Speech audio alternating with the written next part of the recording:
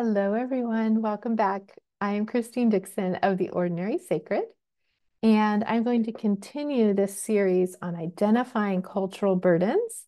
And today we're going to identify cultural burdens in the area of education. And so if you haven't watched the last video, I would recommend going back and watching that because I do an overview of um, this technique and I start with um, burdens that we have, cultural burdens and personal burdens around family, the topic of family. And I do the exercise with you. And so today I'm going to, I'll go ahead and just share real quick. Um, oh, hold on. Let's start the slideshow from the current slide. Here we go. Um, so as I said in the last video, this is from a, a slideshow that I'm going to be presenting in a workshop uh, coming up on August 9th. It's a Friday. It'll be from 1 to 3 Central Time um, with an additional optional hour of Q&A afterward, So maybe till 4 Central Time if you want to stay. Um, and I'm really excited to lead you all in a collective unburdening of the burden of scarcity which is something that Derek Scott requested in the last video he made before he passed. Um, but we're going to learn all about what cultural burdens are, um, identifying them, why they're, why they're hard to identify. We're going to brainstorm lots of different burdens that we might have, and then the ways that we wake up from them and the ways that we connect to our own inner wisdom and the ways that we unburden uh, some of these messages and ideas if we decide that they're not in alignment with our value or our values. So this is one of the exercises, and we will not have a chance to do all of these uh, categories that you see here on the right in the workshop we'll probably practice with one of them, but I really want to have enough time in the workshop to do the the the unburdening. So um, I thought, well, I'll make some videos and we can practice together kind of in uh, preparation for the workshop. If you want to attend, of course, if you can't, I understand. Um, and I will have a recording of it afterward. Um, all my workshops are $20. So um, Let's see, by the time you're watching this, I will probably have the link for you. So I'll go ahead and put that in the description below. I'll put the link if you want to sign up for the workshop um, next Friday. But uh, you are welcome, whether you join the workshop or not, to do these exercises with me. So if you watched the last video, we did this white room experiment where we are going to, I'm going to lead you now through the one on education um, it's really a way to relax and kind of have some of our thinking parts relax back so that we can receive information from the parts of us that might be more in our subconscious. Okay. So we're going, I'm going to do this with the topic of education in this video. And I'll go ahead and lead you through it now. So the first thing to do is just kind of get comfortable. Um, I do like to, to sit up but be supported uh, in my back, have my feet on the ground. Take a deep breath or two if that feels right to you. And I'm just feeling my body in this space. I can feel my feet touching the carpet. I can feel the weight of my legs and I can feel them touching the chair, my back, where it connects to the chair. I like to imagine gravity pulling down on my shoulders and my jaw. Again, this just helps me relax, helps my my body relax a little bit. And I kind of ask myself, am I safe? And I would encourage you, if you're not safe in your environment, it's very hard for your body to relax. So do whatever you need to do to be safe or have privacy. If you're wanting to join me in this experiment. But once you do feel somewhat relaxed, I invite you to imagine that you are in a white room. So you're sitting relaxed on your chair, but everything around you is kind of a bright white. The floor is painted white, the four walls around you are white, the ceiling is painted white, and it's a fairly bright room. Empty, white, and bright. And this emptiness kind of helps us be able to just receive out of the nothingness anything that our subconscious parts want us to know. So, like last time, we're going to give a topic. And the topic this time is education.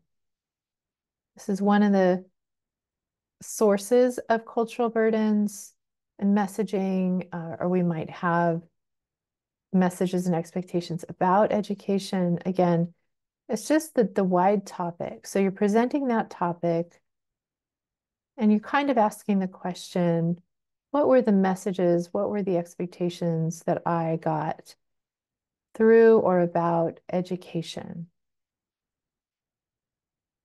and again, just relax in this space. There's no right or wrong. You're just asking to receive information, and it can feel like fragments, like little pieces, memories, images, it could be objects, could be words, sounds, and they'll kind of flash or move in front of you. There's no judgment of them. There's no assessment. It's just a receiving. What does your inner family want you to know about education? And I might invite you here to pause the video and just receive for as long as you would like to. And you might write things down as you receive them, or you might write them down after.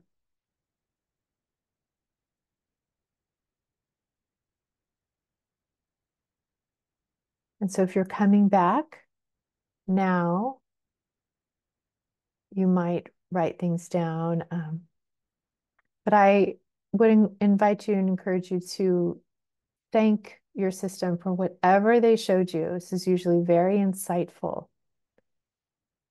Or what they didn't show you. Maybe they're not ready, or maybe there were parts blocking the way, and that's good to know too. Whatever they did show you, Thank them for that. And when you're ready, you can take a breath, feel your body in the space, maybe move around and gradually open your eyes, adjust to the light, the air. Okay. And just like in the last video, I actually, this is, I also did this um, prior to the recording. So I'm going to let you know what came up for me. And again, it may be very different than what came up for you. And I'd love to hear what came up for you in, in the comments below if you want to share. So what came to me was um, images of teachers yelling at children and kids cowering, like kind of ashamed, looking down. Um, and then I heard the words, be a good girl. That was a really pronounced uh, thing that was kind of auditory. Be a good girl, be a good girl. And I kind of saw images throughout from kindergarten all the way up. Um, I saw images of my parents going to teacher conferences and the teachers praising me and saying what a good girl I was, right? So it wasn't just um, you're, it wasn't necessarily you're being a bad girl. It was you're being a good girl, keep it up. um, I saw an image of this paddle, this big wooden paddle that the principal had outside his door. in my elementary school. And it was meant to be this um, image of fear, right? If you get out of line, if you misbehave, you are going to be sent to the principal's office and he's going to hit you with this. And I remember hearing stories of kids who did get hit by it. Back in my day, that did happen. So there was a lot of fear in me around that. Um, I got an image of this recess lady. I forget her name, but she was very mean, constantly yelling at the kids. Um, and then there was this kind of um, idea that recess or fun was not real education. That anything that you enjoyed um, wasn't real education. So it's kind of this idea of kind of like no pain, no gain, but like if if you enjoy it, it's not legitimate. the only legitimate education is the stuff that you absolutely hate that you plow through. Um, another big message that came through was my worth is in being smart. So I, again, just like I was able to achieve being a good girl and was praised, I was able to show that I was quote unquote smart and I was rewarded for that. And so there was just this understanding that that's where my worth was. Um, that's what kind of kept me safe was was being smart, being studious. Um, and then after that, there was just like um, these like signs or like uh, ticker tape kind of like messages that kept going, like scrolling by. And they were saying conform, obey, comply, do as you're told, do not be different. It was kind of like, don't you dare be different, fall in line, be a cookie cutter version of what you're expected to be. And um, so that's what showed up for me. Um, again, this is going to be very personal to every person that does this. It, again, it's it's what was given to us by our culture. It's what was reinforced either through punishment or reward and praise.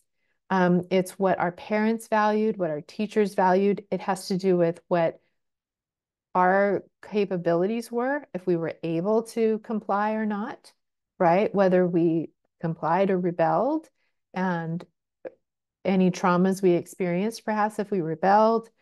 Um, and again, just just the repeated messaging that was given to us through whether it was explicitly said, be a good girl, or it was implicitly reinforced and you know modeled we saw it uh, or just messaging like the principal's you know sign of fear outside his door in the paddle.